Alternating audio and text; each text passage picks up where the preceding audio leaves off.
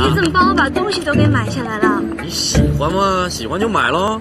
不行，我不能收你东西，我把钱给你。哎哎哎，别别别，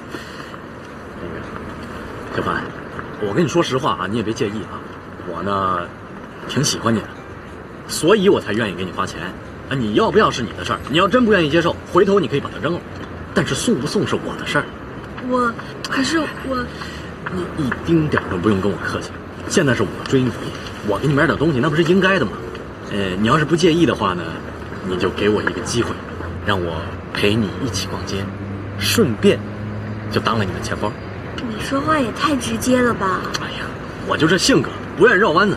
怎么样？给我个机会？行，我让你跟我一起逛街，但是你得答应我，不要再给我花钱了。